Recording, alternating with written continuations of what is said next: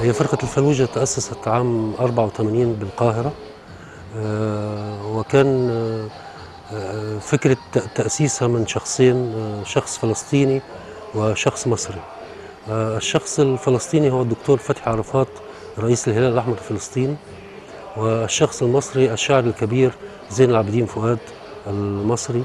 وهي هي هي الفكرة تكونت مصرية فلسطينية بدأت مصرية فلسطينية وعاشت من ال 84 لحتى الآن. آه، الفرقة يعني كان في هدفين قدامنا في آه، انطلاق الفرقة. الهدف الأول هو تعليم أكبر كم من فلسطينية الشتات اللي تربوا بره الوطن آه، لمعرفة جذورهم وتراثهم الفلسطيني.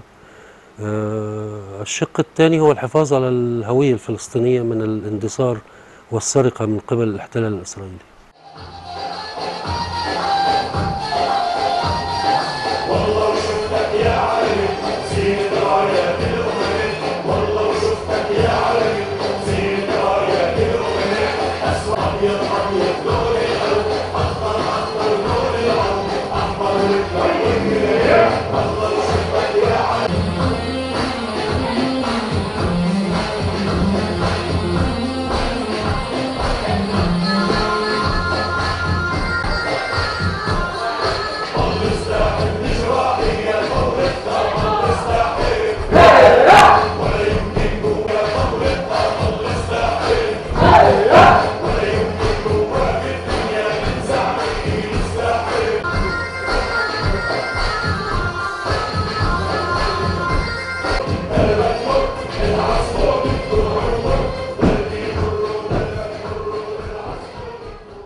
في أنواع كتير من الدبكة الفلسطينية الشماليه الطيارة دلعونه ظريف. آه، كلها بنتدرب عليها. بالنسبة للتراث الفلسطيني عموما فإحنا حتى في- مجال الأفراح لينا لينا تراث. حتى في مجال ال- ال- ال- الزفة اللي بتتقال في الفرح يعني حتى في أبسط حاجة الزفة اللي بتتقال في الفرح دي تراث معين بتتقال في منطقة غير منطقة. الزي بتاعنا بنحاول نعبر أكتر عن التراث. يعني في ازياء آه، لغزة في ازياء غزة في ازياء للمجدل في حتى التفصيلة اللي بتت... اللي بتفرق في توب البنت التوب الأبيض أو التوب الأحمر أو التوب الأسود. كل دي أماكن وقرى على أساسها بنحاول إن إحنا ننسق أو نوصل صورة كاملة عن التراث الفلسطيني.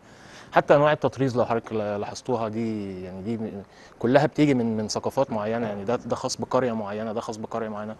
بنحاول إن إحنا في في تدريباتنا أو في بروفاتنا إن إحنا ننقل ننقل للمتدرب آه، صورة كاملة عن التراث الفلسطيني. حتى ولو بخلفيات نقاشية.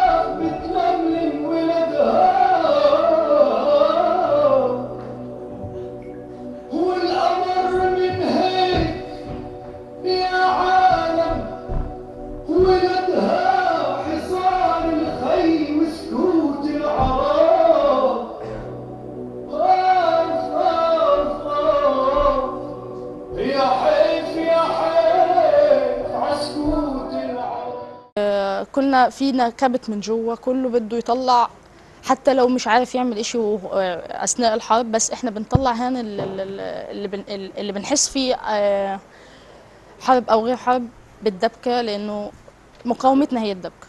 ما عندناش إشي تاني غير الدبكة ان إحنا نقاوم فيها.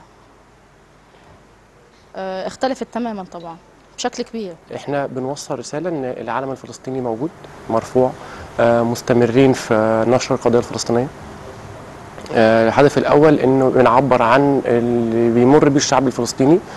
كل دبكة ليها قصة وليها حكاية آه، وليها وقت. آه، كل وقت ليه آه، دبكة معينة. آه، وقت الحرب لينا دبكة بتتكلم عن الشهيد وبتتكلم عن الأم اللي فقدت أبنائها وفقدت آه، عيلتها. آه، في الأوقات العادية في دبكة بتتكلم عن الفرح وعن الزفة وعن العرس الفلسطيني. فكل آه، دبكة بتحكي آه، التراث الفلسطيني.